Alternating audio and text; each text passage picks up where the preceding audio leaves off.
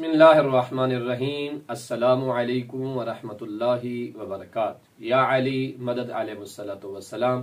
میں ہوں سید سکلین حیدر نقوی النجفی، سرزمین النجف اشرف سے۔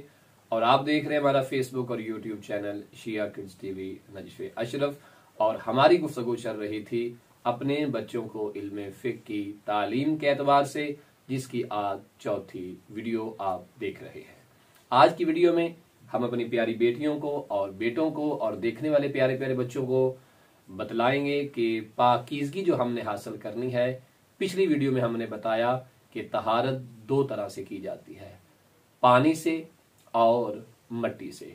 انشاءاللہ ان کی تفصیل ایستا ایستا ہم آگے چل کے بیان کریں گے کہ وہ کس طرح سے حاصل کرنی ہے۔ لیکن فی الحال ہم نے صرف یہی یاد رکھنا ہے کہ پاکیزگی اختیار کرنے کے جو طریقے ہیں یا وہ پانی سے حاصل ہو سکتی ہے یا وہ مٹی سے ہو سکتی ہے۔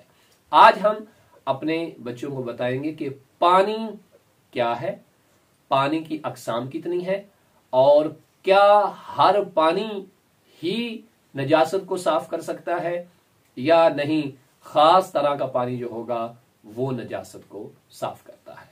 تو پوری توجہ رہے، چونکہ ہم نے بڑے آسان طریقے سے یہ سلسلہ فقہی دورے کا آغاز کیا ہے ہمارے بڑے احباب جو ہے وہ بھی اس سے استفادہ کرنا چاہیں تو وہ بھی اس سے استفادہ کر سکتے ہیں، اس میں مشکل نہیں ہے۔ لیکن ہم نے طریقہ کار بچوں کے لیے رکھا ہے تاکہ بچوں کے اذہان میں یہ چیزیں اچھے طریقے سے بیٹھ جائیں اور انہیں اچھی طرح سمجھ آ جائے، تاکہ اس کے بعد جب وہ اپنے مرجع جس کی تقلید کرتے ہیں، ان کی کوئی بک پڑھے تو سمجھنے میں انہیں آسان لگے۔ تو پیارے بچوں، یاد رہے کہ پانی دو طرح کا ہوتا پانی کتنے طرح کا ہوتا ہے؟ دو. طرح کا ہوتا ہے۔ محمد علی اسلام کتنے طرح کا ہوتا ہے؟ دو. طرح کا۔ پانی دو طرح کا ہوتا ہے۔ ایک پانی کو آب مطلق کہتے ہیں یعنی مطلق پانی اور ایک کو کہا جاتا ہے آب مضاف۔ آب جو ہوتا ہے یہ فارسی میں پانی کو کہتے ہیں۔ آپ فارسی میں پانی کو کہتے ہیں اور اردو میں پانی کہتے ہیں۔ اب ہم یہ کہیں گے کہ پانی دو طرح کا ہوتا ہے کتنی طرح کا؟ دو طرح کا۔ ایک پانی کو مطلق کہتے ہیں اور ایک کو مضاف کہتے ہیں۔ مطلق پانی کون سا ہوتا ہے اور اس کی کون کون سی اقسام ہے، یہ ہم آگے چل کے بیان کریں گے۔ اور مضاف پانی کون سا ہوتا ہے، یہ بھی ہم آگے جا کے بیان کریں گے۔ لیکن ان کی پہچان کے طور پہ ہم بتاتے ہیں، ایک مطلق پانی ہے اور ایک مضاف پانی ہے۔ مطلق پانی جو ہوتا ہے، اس پانی کو کہتے ہیں جو بالکل صاف اور شفاف پانی ہو۔ بالکل صاف اور شفاف پانی ہو، اسے کیا کہیں گے؟ آب مطلق یعنی مطلق پانی۔ اور مضاف پانی کون سا ہوگا؟ جو ملاوٹ شدہ ہو۔ کیا ہو؟ ملاوٹ شدہ۔ یعنی اس میں کوئی اور چیز مکس ہوئی ہو۔ جیسے کہ اگر آپ جوس پیتے ہیں، تو جوس جو ہوتا ہے، یہ پانی ہوتا ہے، لیکن صاف نہیں ہوتا۔ صاف کیوں نہیں ہوتا؟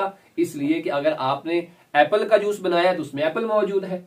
اگر آپ نے مالٹے کا جوس بنایا، تو اس میں مالٹا موجود ہے۔ ٹھیک ہے؟ اگر آپ نے انار کا جوس بنایا تو اس میں انار موجود ہے۔ تو ایسے پانی کو کیا کہیں گے؟ آب مضاف۔ کیا کہیں گے؟ آب مضاف۔ کہیں گے۔ اور مطلق پانی کون سا ہوگا؟ جو بالکل صاف اور شفاف ہو۔ جیسے ہم آئینہ دیکھتے ہیں نا ٹھیک ہے؟ شیشہ دیکھتے ہیں۔ شیشے کی طرح بالکل صاف جو پانی ہوگا وہ کیا ہوگا؟ آب مطلق ہوگا۔ ٹھیک ہے؟ آب مضاف جس میں کوئی چیز مکس ہوئی ہو۔ اور آب مطلق جس میں کوئی چیز میں کوئی چیز میکس نہ ہوئی ہو۔ تو پیارے بچوں، آپ نے یاد رکھنا ہے، پانی کی دو قسمیں ہیں، آب مطلق اور آب مضاف۔